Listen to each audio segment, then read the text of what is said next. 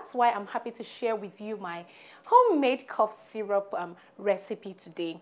The recipe is made with ingredients that have natural antibiotic properties. And trust me, I have shared this recipe with over 500 moms and all I've been getting have been good feedback.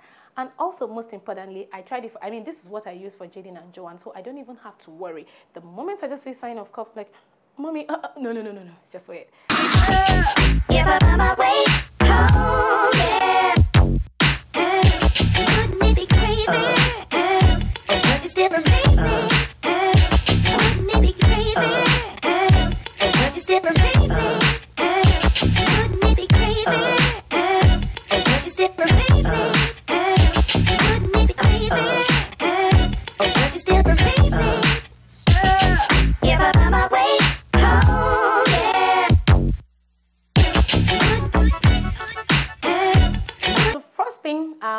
going to do is I'm going to grate the onions. So I'm going to be using two onions, grating.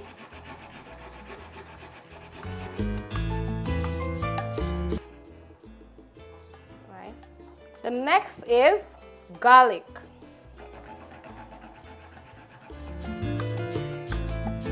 And the next recipe is ginger.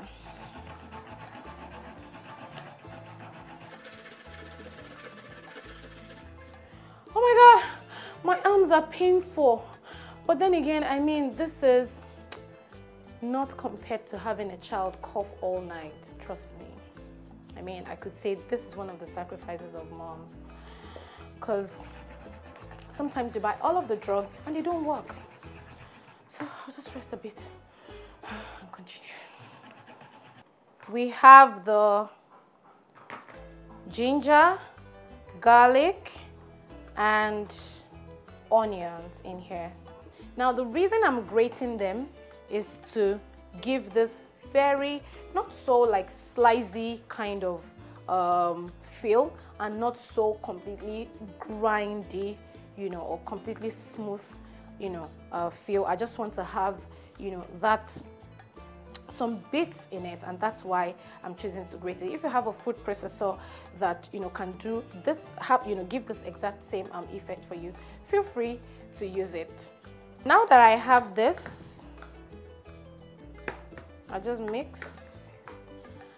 And now the next thing I'm going to do is add some lemon juice. Natural antibiotics and it's rich in vitamin C. And the good thing with vitamin C, it, it helps, you know, the body to absorb iron, which is a very, very important brain building, you know, macronutrients for children.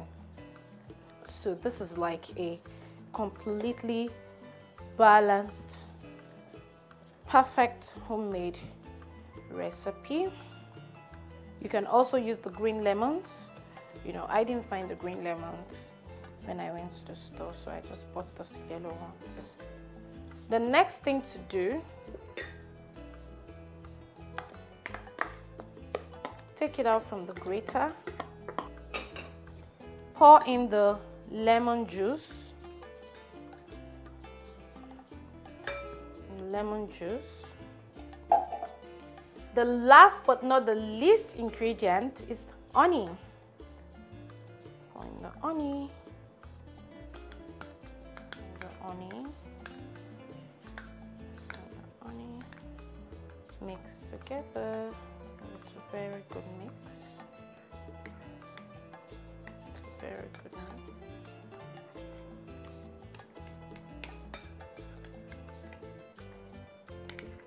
And here you go. But then to complete the process of my homemade cough syrup, I do two things.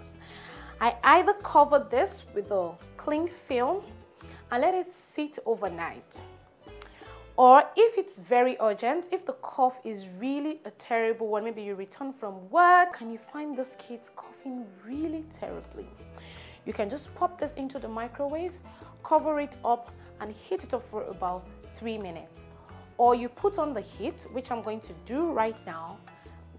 I'm going to show to you how I put it on a very low heat and it bubbles up for two minutes and then we're done.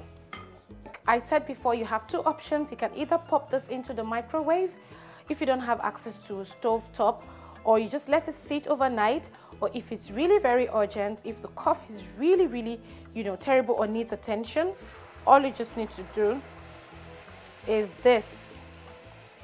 Pop it onto the heat and let it bubble up for about two to three minutes and that's it. I know sometimes, you know, cough, eh? Before you know it, all the kids are coughing. Everybody is coughing. Like, you know, you don't want, you know, the cough to infect the other person. So let everybody have a taste of this. Everybody in the house, let everybody have a taste of this. The moment one of you is having a cough, no, I just say, you know what, everybody, can you gather here? Mommy has something for you. Ensure that everybody has a taste of this. Now, it's uh, ready. All right, so this is what it looks like after bubbling for two to three minutes on the heat or in the microwave. So I I know kids, you know, and they're questioning, Mommy, what's this? What's this about? Just say it's your medicine or it's your drugs and it's good for you to help you stop this cough, this cold, or this fever. Now, this is not a medication or this is not a limitation for you not to take your child to the hospital if the cough persists. I need to mention this caveat. So, don't say, oh, I said you should keep the cough for longer, you know, than you know, longer than necessary. If within two to three days this cough persists, you need to take your child to the hospital.